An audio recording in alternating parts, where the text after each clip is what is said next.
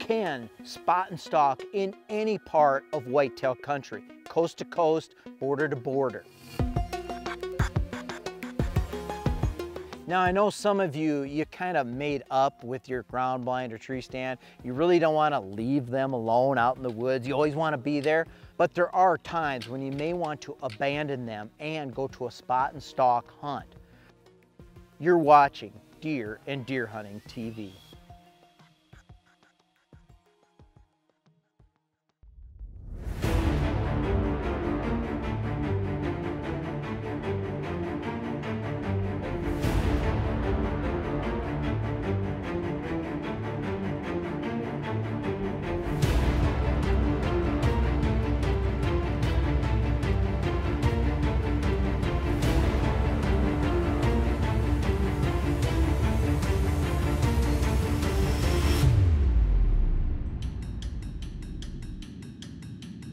Where it all begins.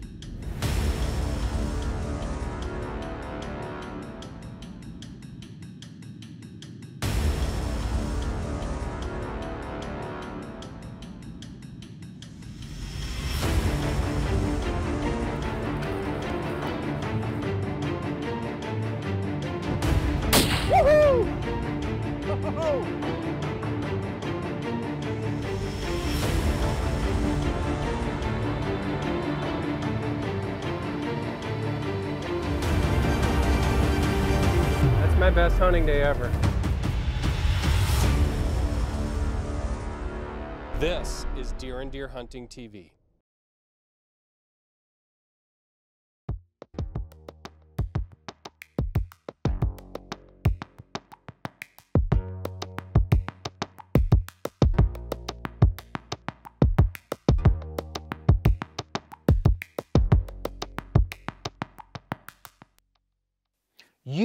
Can spot and stalk in any part of whitetail country, coast to coast, border to border. How do you do it? Well, the first thing is buy a quality binocular. You gotta have quality because you're gonna be spending a lot of time behind that binocular. Whether you're in dark woods, spotting and stalking down big canyons like over in Pennsylvania and stuff in the mountains, or out west like here where we're hunting whitetails or mule deer in the big openness. Spend some money. Second thing is get up high. Now, that's an obvious one, but you definitely need to be on different vantage points, high vantage points in your hunting area so you can see down and around. Now, again, if you're hunting in the eastern woods, you can get up on a ridge and scan down into maybe an acorn and oak bottom. Same thing in the Great Plains. Get up high on some grassy knob, scan down into a river bottom. And of course out west, well, there's all kinds of options where to get up high. The third and final tactic that I would suggest for spot and stalk hunting, slow down.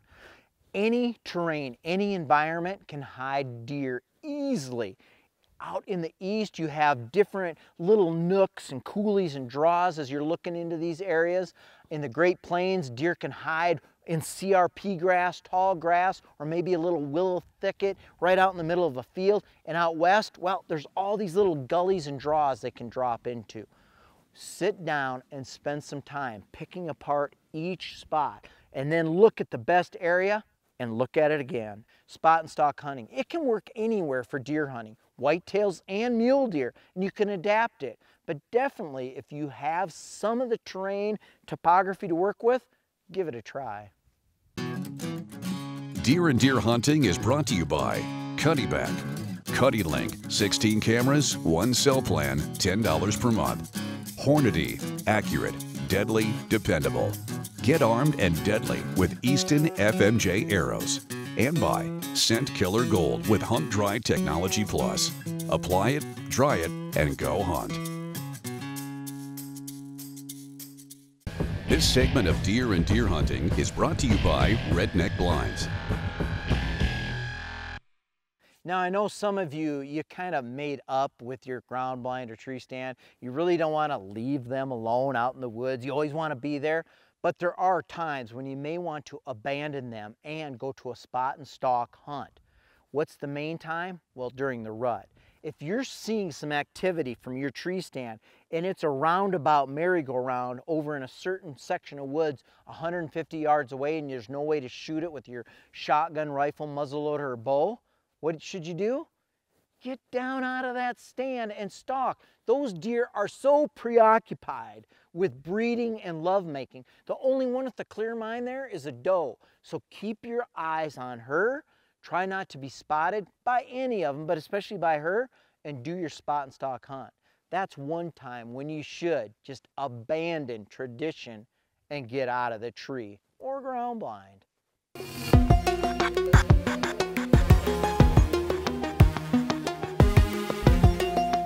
Mark is hunting near his home in Wyoming. It's an annual hunt for him and one where his tag is good for either mule deer or whitetails. He's been scouting for weeks now and has been able to target a certain mature mule deer who has passed his prime. This buck has been following the same routine almost perfectly each day, but as many hunters can attest to, opening day is a whole new ballgame. Yesterday he was here. I could have shot him right now.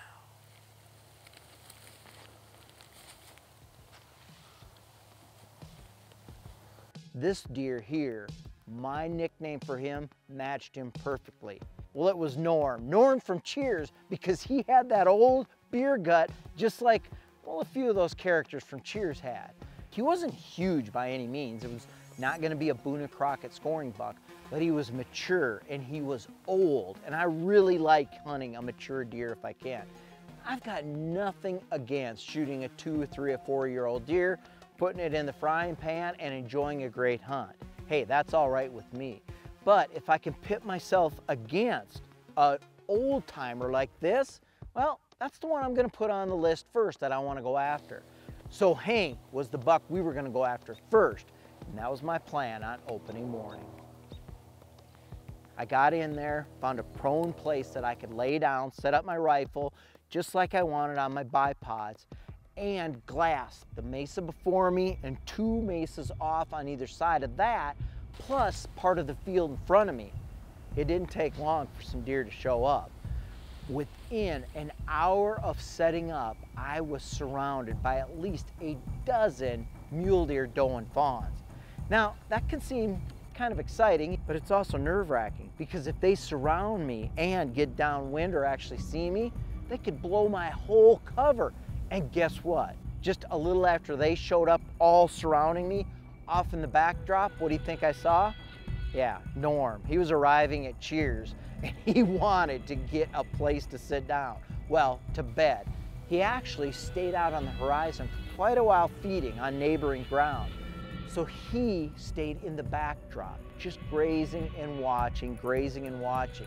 And I mean, he was watchful. This deer, during my scouting trips, I observed him being as cagey and nervous and paranoid as any buck that I've ever went up against. He definitely wanted to make sure that nothing was gonna jump him on his way to his bedroom. He was making his way towards me, just chugging along, eating, and then he slid out of sight into a gully, which fortunately whew, was perfect. You wouldn't think losing sight of a buck would be perfect, but it was just then that those does, they caught a hint that something was up. They could see my form lying there in the sagebrush. Why could they? Well, they were within bow range. They were almost walking on top of me, surrounding me.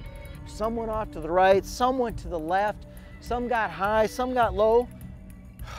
Luckily, they all bunched up like a big old school of tuna and went around me and off into another gully. Out of sight, out of mind, but I still hadn't seen the buck. Where did he go? He dropped down into a gully, and I knew that gully well. It forked. If he took the one fork, he'd stay up on the neighbors. If he took the main fork, he'd come right at me. Hey, he came right at me.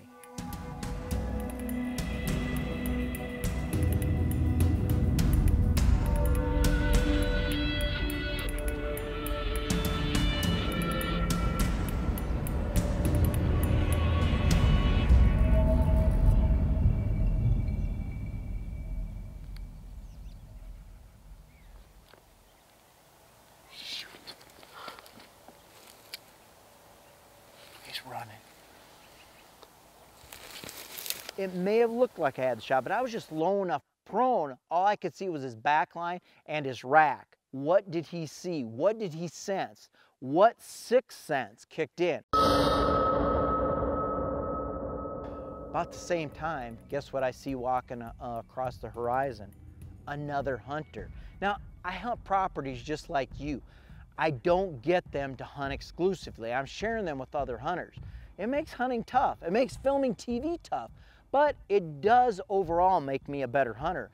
Keep that in mind as you go through hunting seasons. If you're sharing your property with other hunters, you've got to scout on how to find the deer and avoid that hunting competition all at the same time. Charlie and I are good friends. So, Are um, you Mr. Kayser? I am. Oh, I'm really glad to meet you. I'm Ellen. Nice to meet you. Nice to meet you. So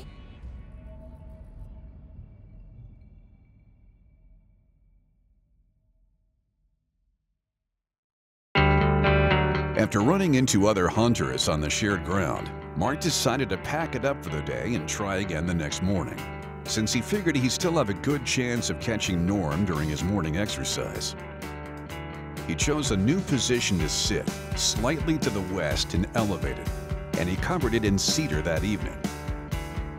All that was left was to walk in the next morning and watch the sunrise. Luckily for Mark, Norm was right on time. that's him. See him? Okay. I'm gonna shoot him as soon as I can. Don't.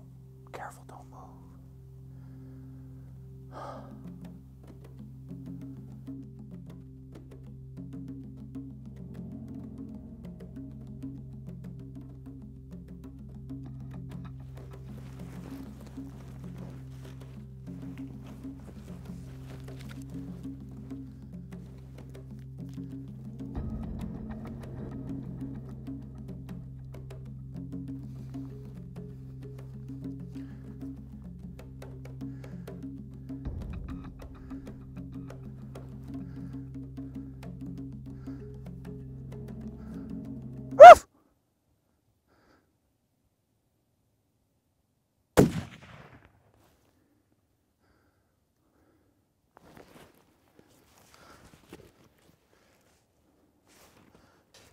I've been watching this buck off and on for probably close to a week. We had an encounter with him yesterday and he got past us and down into a low spot and then he got boogered. The landowner was in here doing some ranch and stuff, which they always are. But he's been on a pattern to come through the same spot. But since he boogered the other day to it coming through to a different spot, we switched up and he came through, but he's real cagey and cautious. I took a longer shot than I wanted to up on that ridge, mainly because there's some low spots here and he acted like he wasn't going to do his typical pattern. I thought he was going to duck out and get out onto another draw. It's been one of those mornings, one of those hunts. Let's go see what happened. I'm hoping I didn't miss that shot. I'm hoping we got a big mature buck down just over that hill.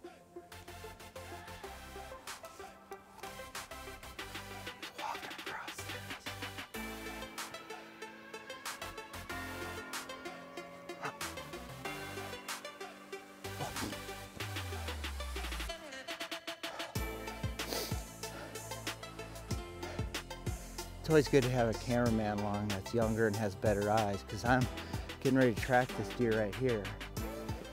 And David goes, oh, he's right there. Man, no matter how many years you hunt, and I, I have to do the math, but I've been doing this a long time. Not only is the excitement there, my heart was pounding right before the shot. That's a good sign as I'm still alive. Enough about me. Let's go see this. This is an old timer buck. You're not going to be surprised how big he is, but he's definitely an older buck that I've been watching for quite a while here.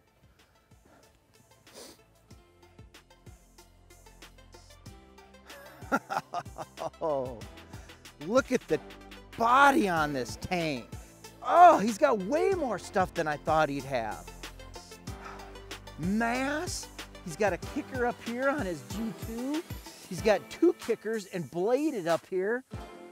Nice forks. You know, like I said, I knew this buck wasn't gonna be a giant buck, big wide spread, but I could see in his overall body, look at this neck.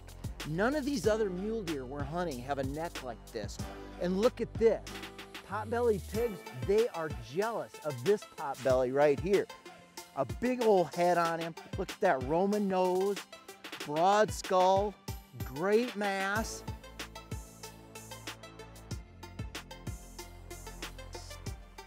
I am more than pleased with this buck. But what makes this buck so special to me is the fact that I put my time in scouting. I come out of the high country, I've been archery hunting elk, came down, been fighting some snow, high winds, got on this buck the first morning. I watched him through the spotting scope, and then for several consecutive days put the pattern together, and it was right here on this mesa that I figured I'd be able to put the ambush together. That's exactly what we did. Deer and Deer Hunting is brought to you by Sevr Broadheads, straight through it. 10 Point Crossbow Technologies, there is no substitute. And by Outdoor Edge, make the cut. This segment of Deer and Deer Hunting is brought to you by Mathews. If you're hunting open country, and that can be anywhere, any type of open pasture, open field, open everything like we're here, you're likely gonna wanna get low. And when you get low and start doing crawling on your hands and knees and eventually on your belly, you probably are gonna end up shooting prone. Now for me, shooting prone is a way of life. That's the way I love to shoot because I'm the most stable that way. But here's some tips you gotta keep in mind if you're gonna shoot prone. First of all, you wanna align your body. You want the rifle, the target, this part of your body where you're holding into all the way down your leg to be in alignment. You don't want to be skewed one way or other because that takes away your stability. The second thing you need to do is remember to keep your feet in the proper placement. Now you can either do what I'm doing, both feet flat, pointed out, or take your predominant, say you're right-handed, then take your right leg, bend it, and jam it into your left.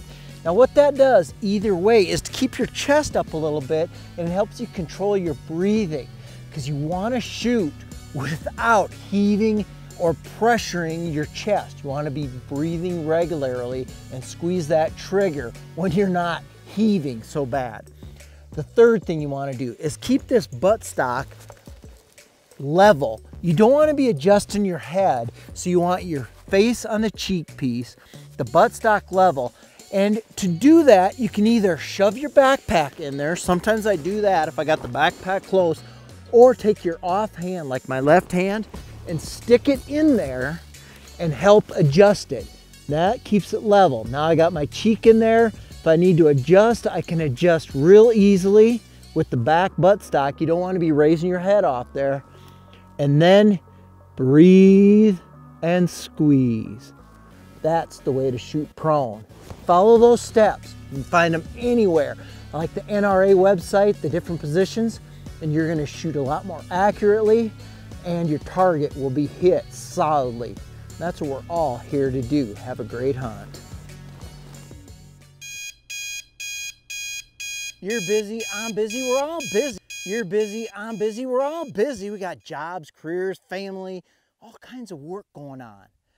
So you don't want to be running around the country checking 17 different trail cameras, do you? Well, Cuddeback, they've come up with a solution to that, the CuddeLink. And what this system does, it's not cellular, it's actually a wireless system that meshes a whole bunch of cameras together on a property. Now you can take one camera, the mother unit, and set up another camera and it'll send images to this mother unit up to a quarter mile away. Now that's fine, but you can take up to 15 cameras and link them all together. And then it daisy chains them and you can go on for miles. And all you gotta do is, well, check one camera, the CuddeLink system. My biggest problem right now is finding the right tree to put it on.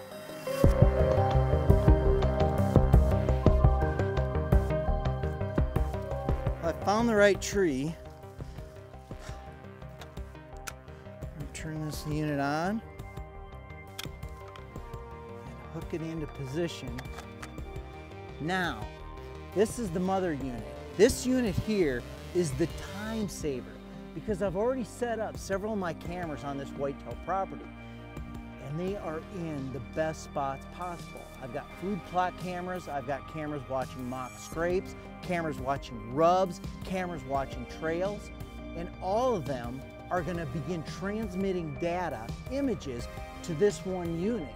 I check this one unit and I'm checking a dozen other units spread across this entire property. So when I want to save time, I go to the CuddeLink. It is a great time saver and allows me to monitor all the deer movement. When it's time to go deer hunting, I'm going to have everything I need right here.